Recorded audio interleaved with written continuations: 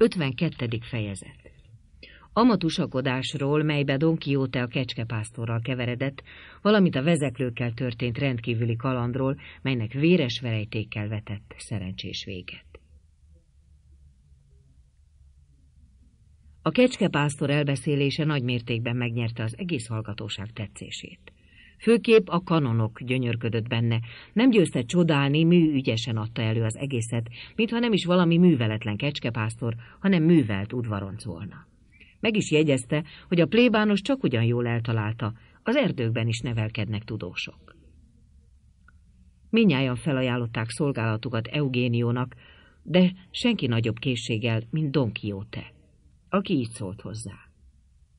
Igaz lelkemre mondom, kecskepásztor atyám fia, ha abban az állapotban volnék, hogy valami kalandba vághatnék, rögtön, de rögtön útra kelnék kegyelmed érdekében, s kiragadnám Leandrát a kolostorból, ahol kétségkívül akarata ellenére tartják fogva. Kiragadnám, ha maga a fejedelem asszony vagy akárki a világon állna is ellent, s kegyelmet karjai közé vezetném, hogy bánjék vele kényekedve szerint. Tenném pedig ezt a lovagság törvényei értelmében, melyek azt parancsolják, hogy nem szabad eltűrni, hogy valamely hajadon bármi sérelmet szenvedjen. De bízom a felséges Istenben, hogy az ármányos varázslónak nem lehet annyira hatalma, hogy a jóindulatú varázsló le győzhetné, és így ezennel felajánlom szolgálatomat és segítségemet, amire hivatásom is kötelez, és amely nem egyéb, mint hogy gyámolítsuk a gyengéket és a szükségben szenvedőket. A kecskepásztor ránézett, és amint szemügyre vette Don Quixote nyavajás külsejét és ábrázatát, nagyot bámult rajta, és odaszólt a szomszédságában lévő borbélynak. Ki ez az ember, uram, aki színre, szóra ilyen csodálatos? Ki volna más? válaszolta Borbély, mint a nagyhírű Don Quixote de la Mancha. A sérelmek megtorlója, a ferdességek helyreigazítója, a szűzek védelmezője, az óriások rettentője és a csaták győzője. Hisz ez éppen úgy hangzik, szólt a kecskepásztor, ahogy a lovagregények írják. S a kóbor lovagok cselekszenek ilyesmiket, amit uraságod erről az emberről mond. Ám bár azt hiszem, vagy kegyelmet tréfál, vagy pedig ennek a nemes úrnak üres a koponyája. Szemtelen siheder, kiáltott fel Don Quixote a szavakra. Üres bizony a te koponyád, de az enyém jobban tele van, mint az a te beste lélek, szajha anyád volt, aki erre a világra hozott. Ezekkel a szavakkal felkapott egy jó darab kenyeret, és úgy vágta a kecskepásztor képébe, hogy annak belapult az orra. De a kecskepásztor se vette tréfára a dolgot, hanem amint látta, milyen komolyan nekiestek, ő se törődött aztán se a szőnyeggel, se az asztalterítővel, se senkivel, aki ott ebédelt. Neki rontott Don Quixote-nak. Mind a két markával torkon ragadta, s bizonyosan megfojtja, ha Sancho Panza nyomban ott nem terem, s bele nem kapaszkodik a vállába, s magával nem rántja az asztalra, összetörve a tányérokat, ripityára zsúzva a csészéket, felöntögetve és szanaszét szórva mindent, ami az asztalon állt. Alig, hogy szabadnak érezte magát Don Quixote, tüstént megint nekiesett a kecskepásztornak, akit Sancho Panza már emberül megrakott. Úgy, hogy egész arca vérbe borult, és most négy kézláb csúszkált valami kés után, hogy bosszút állhasson. Ebben azonban a kanonok és a pap megakadályozta. De a borbély úgy intézte, hogy Don Quixote valami módon megint a kecskepásztor alá került, aki aztán rá is zúdított olyan ökölcsapás záport, hogy a szegény lovag arca épp úgy vérben ázott, mint az övé. A kanonok és a plébános majd megpukkadt nevetében, a poroszlók ugráltak örömükben, és úgy uszították a tusakodókat, mint a kutyákat, amikor egymással marakodnak. Csak Panza volt közel a kétségbeeséshez, mint nem tudta kiragadni magát a kanonok egyik szolgájának keze közül, aki lefogta, és nem engedte, hogy segítsen urának. Amint ekép az egymás döngető öklözőkön kívül a többiek a legjavában mulattak, egyszerre csak olyan szomorú trombitaszó csapódott fülükbe, hogy minnyáján azonnal a hang felé fordultak. De senkit sem nyugtalanított egy trombitaszó annyira, mint Don Quixote-t, bárha rettentő bosszúságára félholtan terült el a kecskepásztor alatt, amiért is így szólott.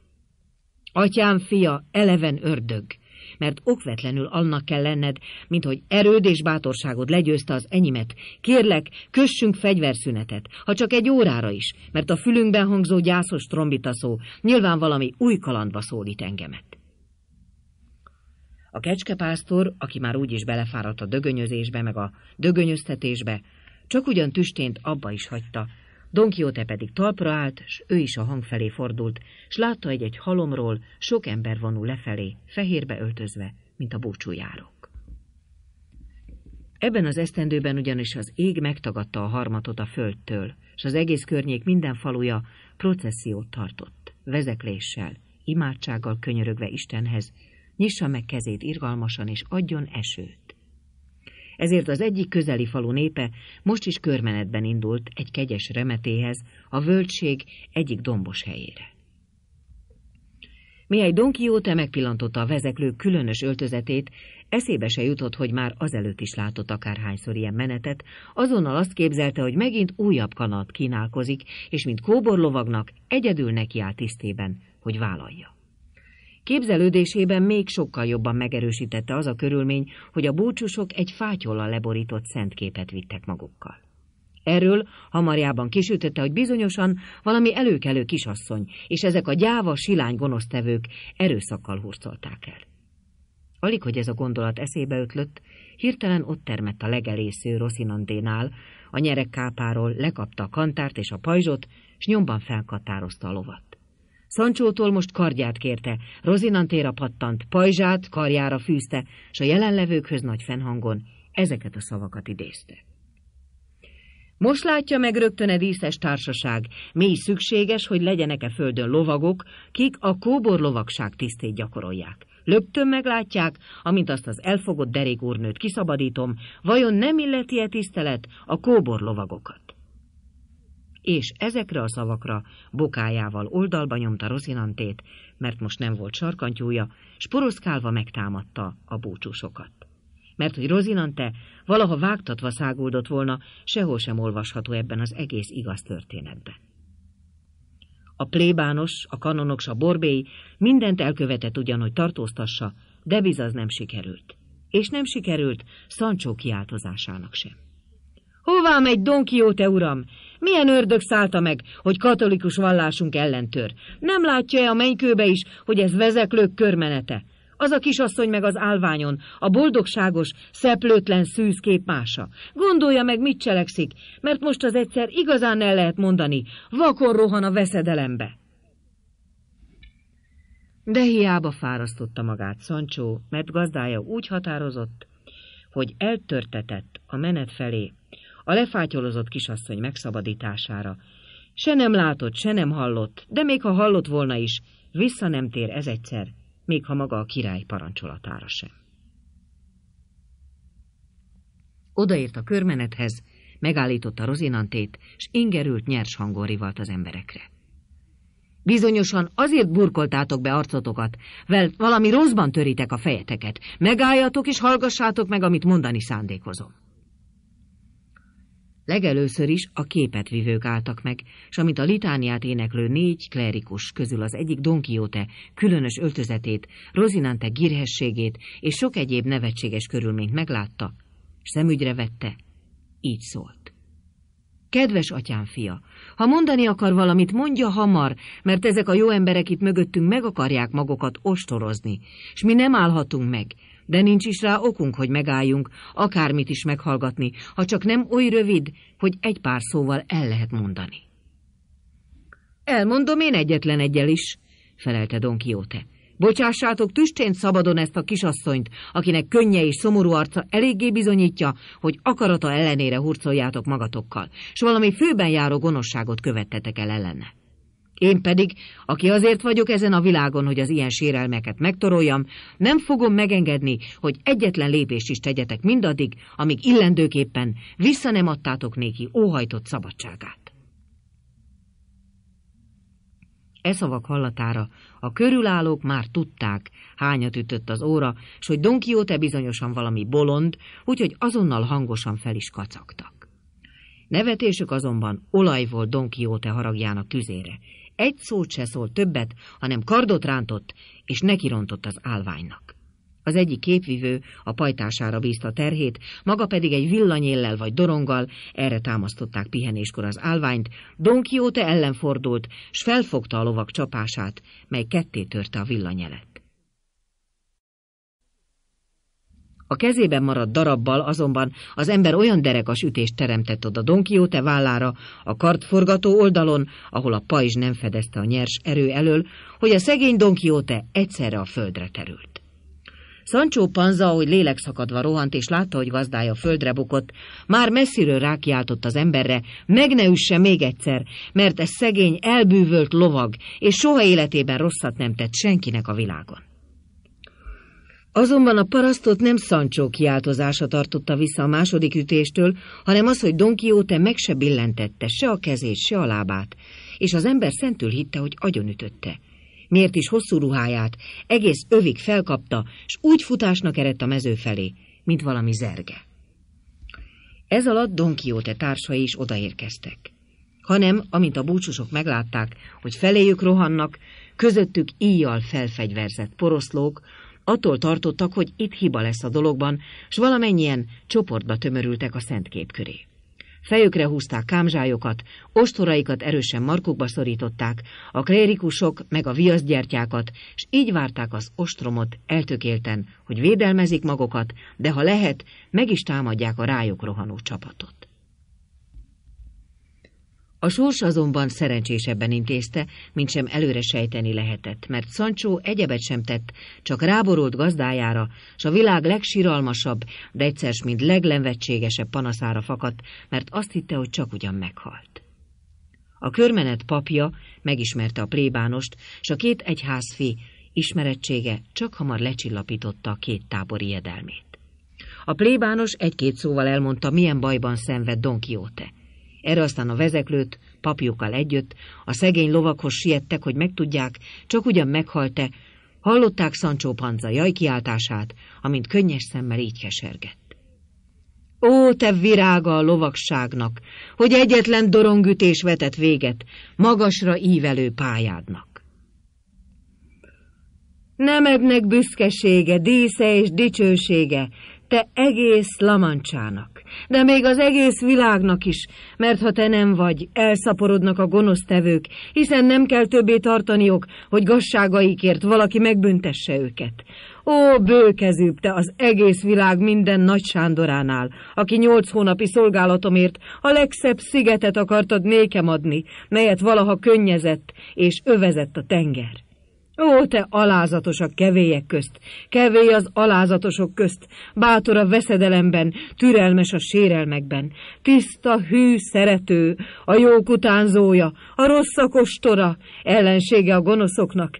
Egy szóval te kóbor lovag, amivel mindent kimondtunk, amit csak lehetett. Szancsó szavaira és nyögésére Don Quixote újra föleszmélt, s legelső szava is az volt. Az, aki távol van tőled, legédesebb Dulcinea, a mostaniaknál sokkal nagyobb nyomorúságra kárhoztatták. Segíts fel, barátom Sancho, az elbűvölt szekérre, mert nem tudnék megülni Rosinantén. Pozdorjává tért a jobb vállam.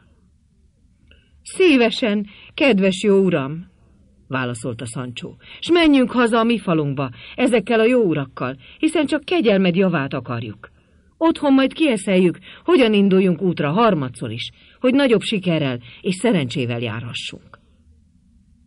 Jól mondott, Sancho, jegyezte meg Don Quixote, és igen okosan tesszük, ha megvárjuk, amíg a csillagzatok most uralkodó káros befolyása el nem oszlik. Mind a kanonok, mind a plébános, de még a borbé is nagyon helyeselte szavait. Jól mulattak Sancho Panza együgyűségén, majd megint feltették Don Quixote-t a szekérre, hol eddig utazott, a búcsúsok rendbeszedték magukat, s folytatták útjokat.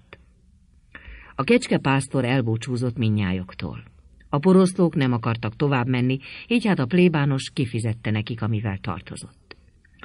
A kanonok megkérte a papot, majd tudósítsa, kigyógyult-e Don Quixote a hóbortosságból, vagy még további sínlődik benne, és ezzel aztán ő is elbúcsúzott, és folytatta a maga útját. Egy szóval, Minnyáján szétszélettek, stávoztak, úgyhogy csak a pap, a borbély, Don Quixote és Sancho Panza maradt már együtt, meg a kis Rozinante, amely mindannak, ami körülötte történt, épp oly türelmes szemlélője volt, mint gazdája. A szekeres befogta ökreit, néhány marék színát adott Don Quixote alá, és aztán a megszokott lomhassággal indult útnak, ahogy a pap parancsolta. Hatod napra szerencsésen meg is érkeztek Don Quixote falujába. Éppen déltájban vonultak be, s véletlenül éppen vasárnap, mikor az egész lakosság a piacon volt, melynek kellős közepén kellett Don Quixote szekerének áthaladnia. Mind összefutottak csodájára, mit hoznak ezen a szekéren, és mikor ráismertek földiükre, alig tudtak hova lenni bámulatukban. Egy fiatal gyerkőc pedig tüstént hazaszaladt, hírt adni a gazdasszonynak meg a lovag unokahúgának, hogy nagybátyját és gazdáját hozzák, sápadtan és haloványan, egy oldalköz szénára fektetve, ökrös szekéren. Szörnyűség volt még csak hallani is, milyen keserves jajgatásra fakadt ez a két jó lélek, hogy ütötték, pofozták magokat, s hogyan átkozták újfent a kárhozatos lovagregényeket, kivált, amikor a kapunát bevonulni látták Don Quixote-t. Hazatértök hírére Sancho Panza felesége is oda sietett. Már tudta, hogy férje a lovaggal együtt ment el, mint fegyverhordozója. Alig, hogy meglátta Szancsót, első kérdése az volt, nem történt-e valami baja a szamárnak. Szancsó azt felelte, hogy jobb bőrben van, mint gazdája maga. Hála a jó Istennek, hogy ilyen irgalmas és kegyelmes volt hozzám, mondta az asszony. Hanem hát mondja csak kegyelmed, lelkem, jó uram, mit takarított meg fegyverhordozó béréből? Milyen szoknyát hozott nekem? Hát a gyerekeknek milyen cipőcskéket? Nem hoztam én semmilyet, édes feleségem, válaszolta Szancsó, hanem sokkal fontosabbat és értékesebbet hoztam.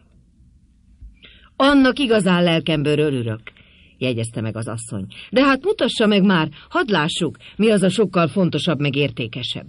Úgy szeretném már látni, hadd viduljon fel a szívem, úgy is olyan szomorú, úgy is olyan vigasztalhatatlan voltam, amíg örökkétig oda járt kegyelmet. Oda-haza majd megmutatom, felelt Szancsó. Most pedig maradj veszteg, s ha Isten is úgy akarja, hogy még egyszer újra útra keljünk, kaland keresni, nem sokára azon veszed magad észre, hogy én gróffá lettem, vagy valami sziget kormányzójává, mégpedig nem olyan pitty szigeté, hanem olyané, mint annak a rendje. Adja Isten, hogy úgy legyen, kedves uram, mondta az asszony. Ugyancsak nagy szükségünk is van ám rá, hanem mondja azt, hogy is van azzal a szigettel, mert én igaz lelkemre nem értem. Nem is való szamára bárson nyereg, szólt Sancho Panza. Annak idején majd meglátod, asszony, és a szemed szád eláll, ha majd alatvalóid nagyságos asszonynak szólítanak. Mit nem mond a Sancho? Nagyságos asszonynak? Szigetek? Alatvalók? Kiáltott fel Juana Panza, mert így hívták Sancho feleségét, nem mintha talán rokonok lettek volna, hanem mivel Lamancsában az a szokás, hogy a nőket férjük vezeték nevén nevezik. Ne akarj mindent egyszerre megtudni, Juana. Elég, ha én tudom, hogy úgy lesz. Most aztán fog be a szádat. Csak annyit akarok mégis mondani hamarjában. Nincs a világon semmi kellemesebb, mintha az ember köztiszteletlen álló fegyverhordozója lehet. Valami kóbor lovagnak, aki kalandokat hajház. Igaz, hogy az ilyen kalandok nagy része nem üt ki olyan jól, mint az ember szeretné, mert száz közül 99-en rajta veszt. Tapasztalásból tudom, mert egyszer meghintáltak, másszor eldöngettek. Hanem mégiscsak kellemes a siker reményében hegyen-völgyön barangolni, sűrű erdőkben bolyongani, szírteket megmászni, kastélyokban belátogatni, vendéglőkben megszállni, s élni az ember kényekedve szerint, s mégse fizetni senki fiának, egy fityinget se. Amíg Sancho Panza és Juana Panza ezt a beszélgetést folytatták, a gazdasszony és a leányka, akik gondviselésükbe vették Don Quixote-t, levetköztették a lovagot, s lefektették szokott ágyába. Nagy szemeket meresztett rájuk, de sehogy se tudta, hol is van. A plébános nagyon lelkére kötötte a leánykának, hogy amint csak lehet, viseljék gondját, és kísérjék szemmel, hogy újra el ne illanjon. Elmondta, mennyi fáradtságokba került, míg hazahozhatták. Erre aztán a két fehér cseléd megint rákezdte a jajveszékelést, szitták a lovagregényeket, s kérve kérték az eget, taszítsa a pokol fenekére mindazokat, akik ennyi hazugságot és ostobaságot összefirkáltak. Attól féltek és rettegtek, mihelyt bátyjuk és gazdájuk jobban lesz, egyszer majd megint csak kereket old. Ami egyéb iránt valóban úgy is történt, ahogy képzelték. Azonban e történet krónikása, noha a legnagyobb kíváncsisággal és gondossággal kutatta a hőstetteket, melyeket Don Quixote harmadik útra kelése után véghez vitt, semminek se tudott nyomára akadni, legalább hiteles iratokból nem. Egyedül Lamancha emlékezetében maradt fenn annak híre, hogy Don Quixote hazúról történt harmadik távozása alkalmával Zaragózába ment, ahol e városban tartott némely nevezetes tornában vett részt, s ott olyan dolgok történtek vele, melyek méltók valának bátorságához és jeles elméjéhez. Arról sem tudhatott meg semmit, milyen véget ért, s hogyan halt meg a lovag, s egyáltalában nem is hallhatott vagy értesülhetett volna semmiről, ha a jó szerencse egy öreg orvossal össze hozza, aki egy ólomszelencét tartogatott. Állítása szerint egy régi remete lak romjai között találták, amikor újra felépítették. Ebben a szelencében holmi pergameneken, gódbetűkkel, de spanyol nyelven írt versekre akadtak, melyek Don Quixote számos hőstettéről szólottak, és megemlékeztek Dulcinea del Tobozó szépségéről, Rosinante termetéről, Sancho Panza hűségéről, s magának Don Quixote-nak temetéséről.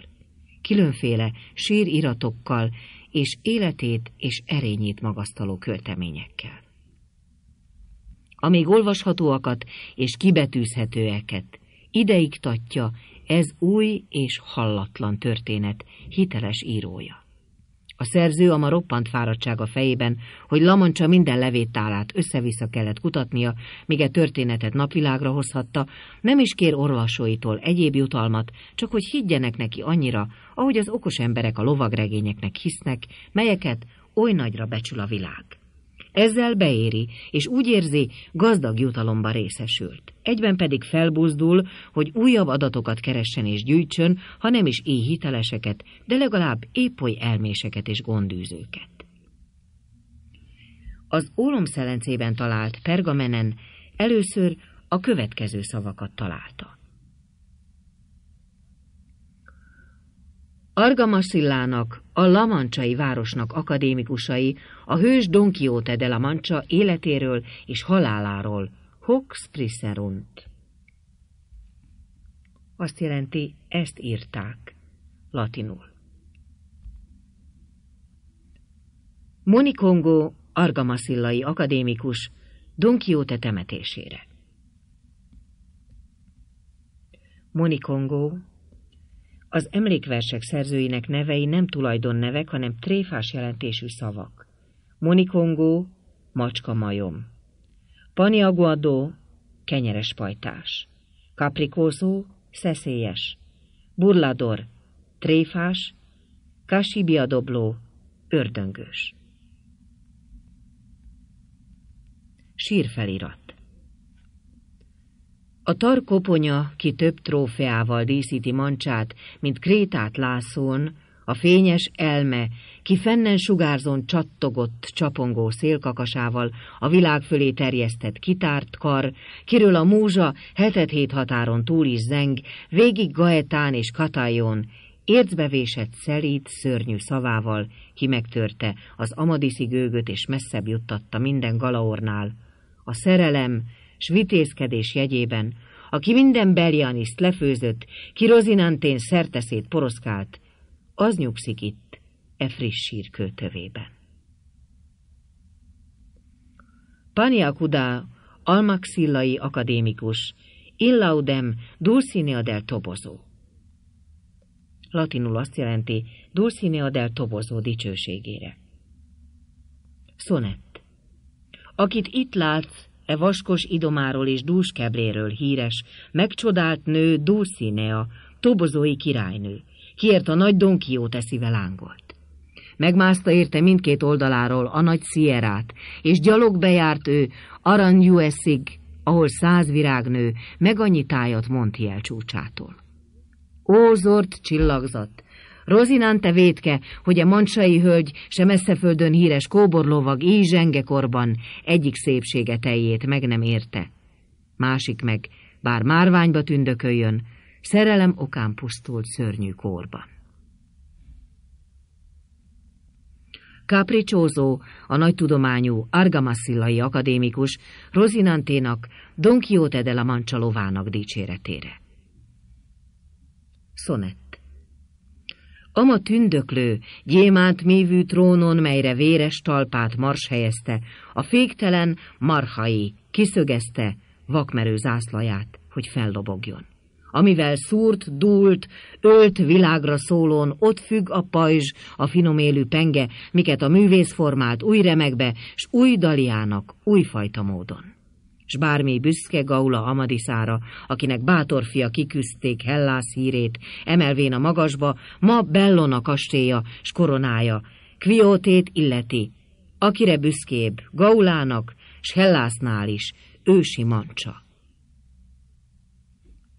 Nevét feledésnek nem tépi mancsa, hisz még Rosinante is, e pazarló, dicsőbb, mint Brialdolló és Bajardo. Burládor, argamaszillai akadémikus, Sancho Panzára. Szonett. Ez Sancho Panza itt, bár teste gyenge, annál nagyobb lélekben. Mély csodálat. Tisztesebb fegyvernöke a világnak nem volt. Kész vagyok esküdt tenni erre.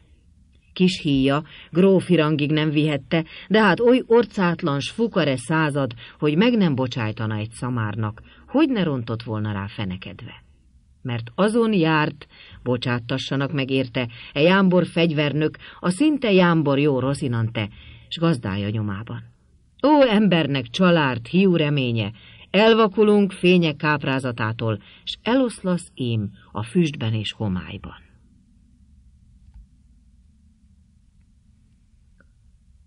Kacsi Dibaldó, Argamaszillai akadémikus, Don Quixote sírjára. Sírfelirat. Itt nyugszik a hős lovagja, a jól ervert, s rosszra kóbor, nem sok része volt a jóból, míg Rozinante uralta. Sancho Panza is, a mafla, nyugszik ura oldalán, dicsőbb fegyvernöket án a világnak sem akadna. Tikutok, argamaszilai akadémikus, Dulcinea del Topozó sírjára. Sírfelirat. Itt lőn Dulcine a vége. Bárhogy is duzzadt a húsa, őt is izzéporrá zúzta csúf halálnak szörnyű csépe. Méltó, foltalan nevére, kívül belől úri dáma, nagy Don Quixote szíve lángja volt, és falva büszkesége. Ezek voltak az olvasható versek. A többieket, mert betűiket megrágta a moly, átadták egy akadémikusnak, hogy fejtse meg rejtéjüket. S híre jár, hogy sok virasztás és sok munka árán ez csak ugyan sikerült is, és hogy közé is kívánja tenni Don Quixote harmadik útrakelésének reményében. Azt méltó blantal, tám majd más dalolja. Vége az első kötetnek.